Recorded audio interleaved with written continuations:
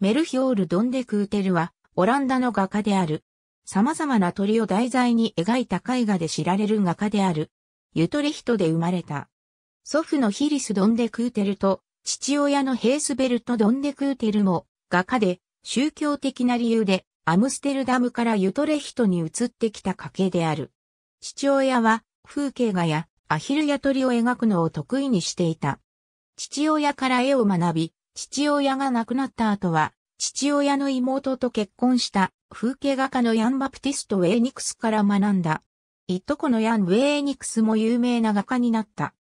1859年までには、デンハーグで働け行くようになり、1659年10月に、ハーグのセール化組合の組合員であったことや、1662年に組合役員を務めた記録がある。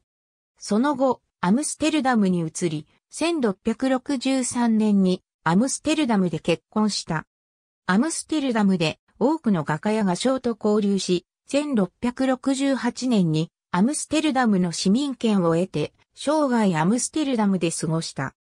家畜の鳥や漁の獲物としての野生の鳥を題材にしたほか、1690年頃描かれたメナジェリーではアジアやアフリカの鳥も描かれた。この絵は画家が生きていたオウムを飼っていたことを示す描写が見られる。また、フランドルの動物画家、フランス・スナイデルスの作品を所有していたとされ、スナイデルスの影響を論じる研究者もいる。ドンデクーテルの弟子やドンデクーテルが影響を与えたとされる画家には、アドリアーン・コールテやウィレム・フレデリック・ファン・ローエンがいる。ありがとうございます。